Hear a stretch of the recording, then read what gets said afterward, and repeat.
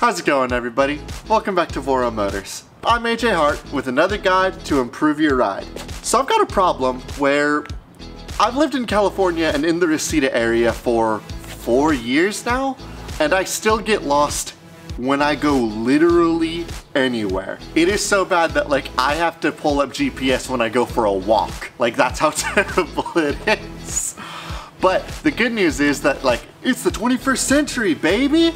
So I can always just like whip out my phone, use GPS, and walk wherever I need to go. The problem is that if you're on one of our electric scooters, fresh out of the box, you don't have any way that you can really use that GPS. But luckily, we started selling a new uh, little phone holder. So you can actually like put your phone on the scooter, however you want it, and actually use GPS, use your phone calls, use whatever you want to use on your phone while you're riding your scooter. You shouldn't text and drive at the same time though, that's wicked dangerous. So today I'm gonna go with you all on how to install and put this phone holder on the scooters. I unfortunately can't show you how it works on all of our scooters, but I do happen to have three scooters in my home because we're quarantined and I have to do work from home still somehow. And the best way to do it was by filling my room to the brim with electric scooters. So, I'm gonna be putting the phone holder on the eMove Touring, the Fiido, and the little DYU sitting behind me. We haven't talked about that little guy very much, but uh, today might be the first time I'm talking about it on camera, so that'll be fun. Let's just go down the road. That helicopter definitely was in my audio and there's nothing I can do about it because I don't want to refilm it, so I'm not going to. First things first, let's just go ahead and talk about what you're going to find in our phone holder's case. You're going to see the actual holding mechanism, the brace that goes onto the scooter, and you're going to see this little sandwich baggie. Now, inside this baggie, you're going to see this little black rubber square, which will break apart into little tinier pads. These spacers, two of them, and these two clear plastic spacers. Two Allen wrenches, and a tiny screw. Now, first things first, let's talk about the actual mechanism that holds the phone. Now, if you twist this screw on the side, it'll get it's gonna open up more. And if you tighten it, that's gonna close it.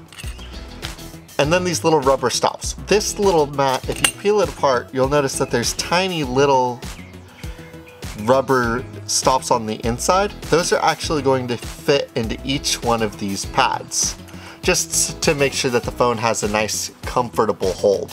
So I'm gonna go ahead and break these out and put them into the phone holder.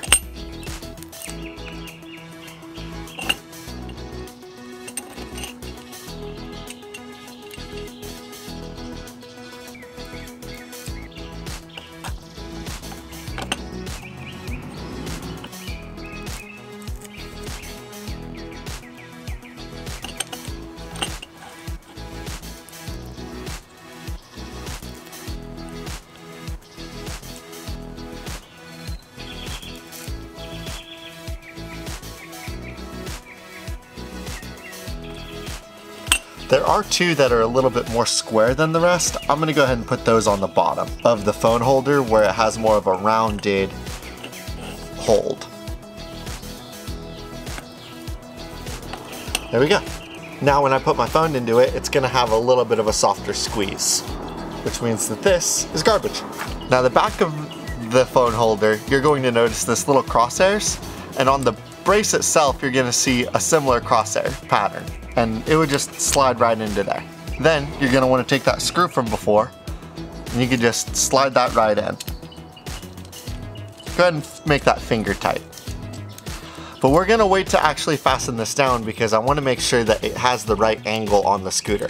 So I'm gonna go ahead and take that back, that bolt back out, and I'm gonna take the brace and the Allen wrench that fits for the brace screw, I'm gonna go ahead and loosen it and open it up. Now, oh, don't lose that. Now, I'm gonna go over to the scooters and I'm gonna see where I wanna put this on and install it. Now we're gonna go ahead and start with the Touring because it's the tallest one of the scooters that I have and I don't wanna squat down. now if you look at the Touring itself, you're gonna notice that on the other side it's already a little bit full, filled up with the throttle on this space. And if we put it over there, the phone would end up covering the throttle anyway. So we're gonna go ahead and put it on the left side where the brake and the bell is. Just because that's where we seem to have more space. With the brace open, I'm just gonna go ahead and open it up and loop it around. But there's a lot of wiggle room. But luckily, this thing came with those little black spacers. It's worth mentioning that there are two different spacers. So if I use this one, that fits really good when I kind of close it down. But if I were to have used the other spacer, it would have had a bunch of wiggle room still, and that's not very good. So we're gonna use the thicker spacer. We're gonna put the spacer in the brace.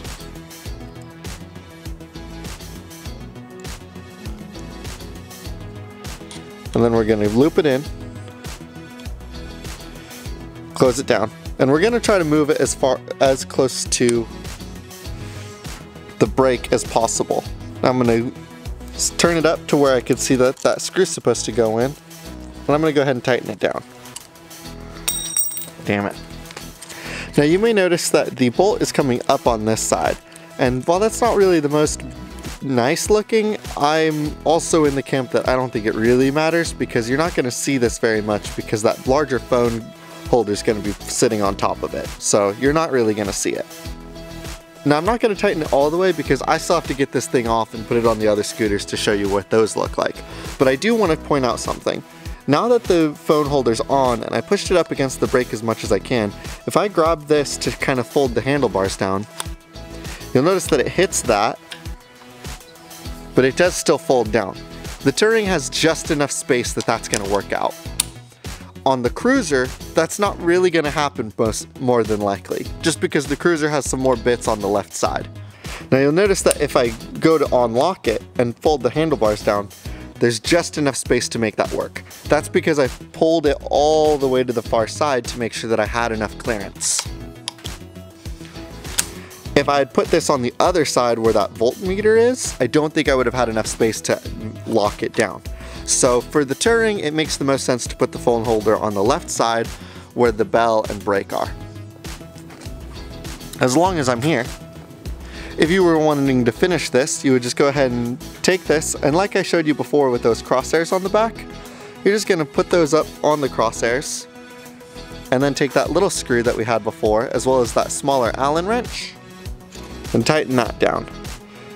Please be mindful not to twist it too hard. You just want to make sure that this is snug because if you tighten it too much, you're going to end up busting a strip and that's just going to make the whole thing fall apart.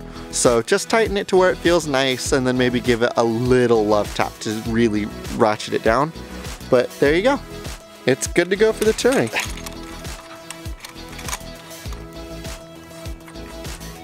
Ta-da! So let's go ahead and move on to the DYU next. Now that I want to take it off, I'm going to have to break it down in pieces. First, I'm going to deconnect the actual phone holder part. Just bring that out all the way.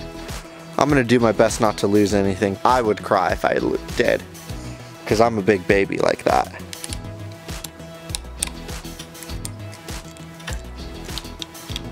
And we're going to move on.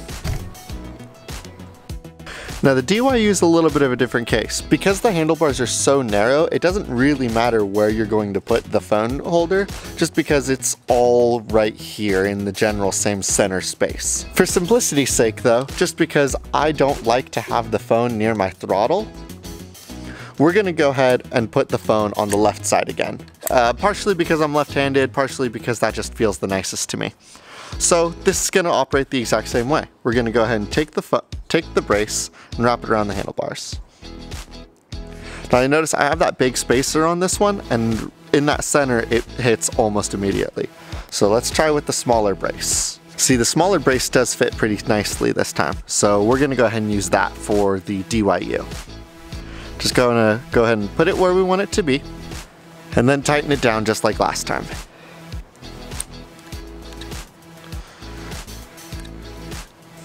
Alright, now that that's on there, let's go ahead and put the phone holder part on. Now you'll notice every time I put this on, I'm gonna make sure that the brace on the bottom that has like the curved on one end, we always wanna make sure that that's on the bottom. That way our phone doesn't slip out on a ride. And there you go, ready to go. Ta-da! And you're ready for a ride. Now, let's go ahead and do the last one that I've got, which is the Fiido. Alright, now I'll be the first to admit. Because the Fiido has these handlebars that are like this big U, it's really nice to ride, but it made me realize that I'm not 100% where the phone holder would make the most sense to put it. So, I'm gonna go with my gut instinct, which is to say, go ahead and put it on the left side again, just because the Fiido has a has a wrist throttle, and if I put my phone over here, I would get in the way of it and it'd be obnoxious. So again, just like always, I'm gonna assume that I'm gonna want it on my left side. So using the spacer, I'm gonna go ahead and put it right here, right under the brake.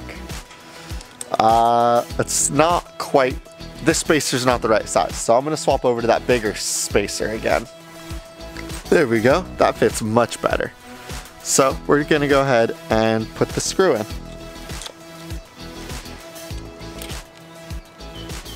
Now something that may be worth doing for all of these is that when you tighten it, you don't want to tighten it all the way just yet. Tighten it so that it's snug, but there's still some wiggle room. You can tighten it down when you actually put the whole mechanism together to figure out what you think would look best for your phone. I'm going to take a little bit more care with this one because I think that for the time being I'm going to leave this phone holder on the Fiido just because during this quarantine this is the one that I've been taking out on little errands to the grocery store and stuff like that.